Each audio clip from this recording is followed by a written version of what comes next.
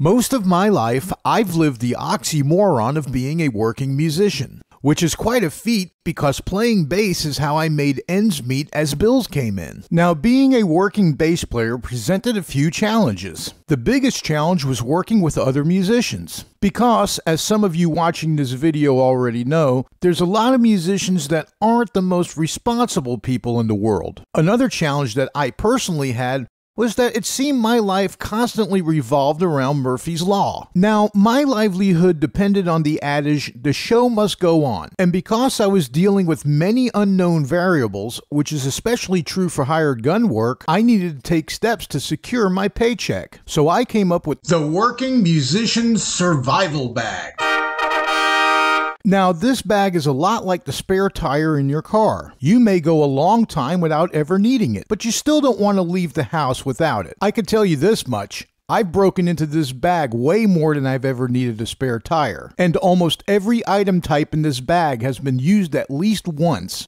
Let's start off with the basic toolkit. The most important pieces in this toolkit are the pliers and wire cutters, which have many uses including emergency string changes, the Allen wrenches, which are not only useful for on-the-fly neck and bridge saddle adjustments, but they're also useful as set pins for those beat up speaker and light stands held together by band aids and boogers that many bands seem to have. There's also a hammer and some small nails which are useful for hanging banners. There's a bag of zip ties, as you can see this one's been broken into, which have many uses including running cords across the ceiling. There's a set of clamps, which also have many uses including elevating lights in an area that a stand won't fit or is taking up too much room. There's a couple of signal cords cords, an extra mic cord, and some small patch cords. You'll be surprised how many players claim to be professional musicians that show up with just the bare minimum of cords with no spares in case of failure, or who forget their tangled mess of cords in the milk crate at their house. There's an extra quarter inch speaker cord, and there's also an extra one with Speakon connectors. There's several NEMA power cords, and these probably get used the most out of my bag. There's also a small leather microphone pouch, which holds an assortment of different types of connectors. This also gets used a lot. There's an extra six-way power supply with a very long extension cord, and there's also a three-way power splitter. A tip to remember is that most stages are on 20 amp or 30 amp circuits with at least two legs, bonus of more.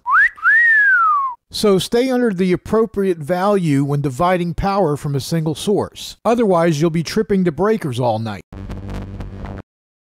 I also have a bag of ground lift adapters, which can eliminate that annoying buzz from ground loop situations on certain stages. Now, I don't recommend lifting the ground on any high powered piece of equipment, so do so at your own risk. There's an extra direct box, which has gotten some use by keyboard players. I pack an extra one spot universal power supply and extra batteries. Now, I generally use active basses live, so extra batteries is always a good idea. But even if you play a passive bass, there's always a chance that Yngwie von Hendrix won't have any spares for his battery driven pedals. Recently, I played with a vocalist who used an acoustic electric guitar, and his battery died. Guess who and whose bag came to the rescue? There's an extra microphone I donated to the bag that gets some use occasionally, which to me is like different people using a single toothbrush over time, but that's what you get for forgetting your microphone at the house. There's a couple extra USB adapters, always handy, and an extra clip on tuner.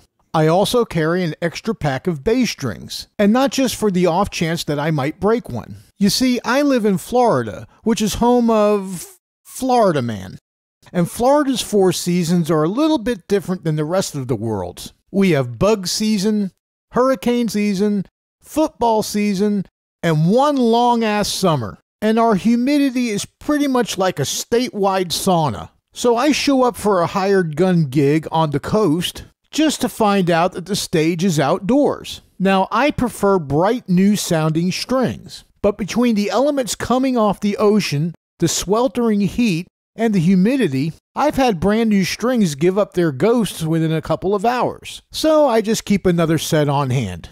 There's an extra strap. There's also a box of guitar picks of assorted sizes. Now, I don't play bass with picks. I generally use my fingers or I slap. Often, when I'm setting up on a new stage, I can usually find guitar picks scattered across the stage floor. But Murphy's Law being what it is, dumbass Yngwie von Hendrix decides to bring one pick that night and he drops it and loses it. And it just so happens this is the one time I can't see any guitar picks on the floor. So I have a whole box of extras. You know what else I pack? Guitar strings. Because if Yngwie von Hendrix can't afford extra guitar picks, there's a pretty high probability he doesn't have extra guitar strings in case he breaks one. And yes, I have provided guitar players with strings many times over. And it's not just guitar players. I also carry drumsticks. I remember a couple of occasions where the drummer would remember his girlfriend but forget his stick bag. So while he sends Yoko home to go pick up his sticks, we can at least start the set on time. There's a couple of flashlights. Well, because stages are generally dark at night, something else that I pack that won't fit in the bag is a tarp. Because here in Florida, it can go from sunny to rainy in a matter of seconds. And last but not least, fingernail clippers, which I use quite a bit, especially when doing studio work. Now, some people watching this video are probably going, how come there's no gaffer's tape? Look, for myself as a working bass player, time is money, and taping down cords and pulling up tape just takes way too long. But that's just me. So that's my working musician's survival bag. If you have any extra suggestions about what to put in there, please list them in the comments below. I'd love to hear them. I'm Rib13.